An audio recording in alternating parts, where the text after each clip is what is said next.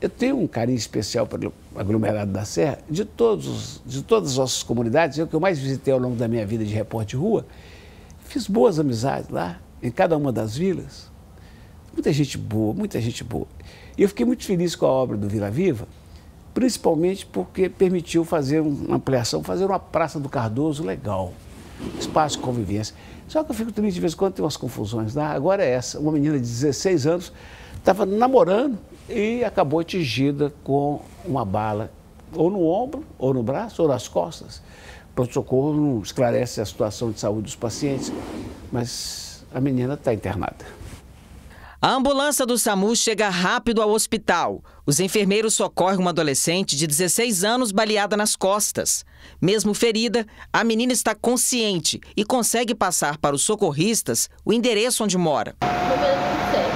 Por causa do ferimento, ela é levada para a sala de emergência. A mãe da jovem estava em casa quando soube que a filha tinha levado um tiro. Eu estava em casa preparando para dormir quando o namorado dela me ligou avisando. A menina tinha ido até a Praça do Cardoso, no aglomerado da Serra, na região centro-sul de Belo Horizonte, para encontrar um grupo de amigos. Estava acompanhada do namorado.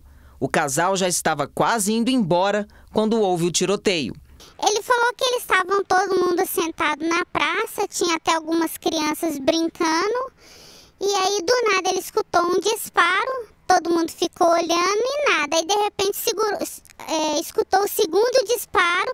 Quando ele escutou o segundo disparo, ela só reclamou: ai meu ombro. Aí quando ele olhou, o sangue já estava descendo. Segundo a PM, a praça estava lotada. Os moradores estavam reunidos ali como fazem todos os finais de semana.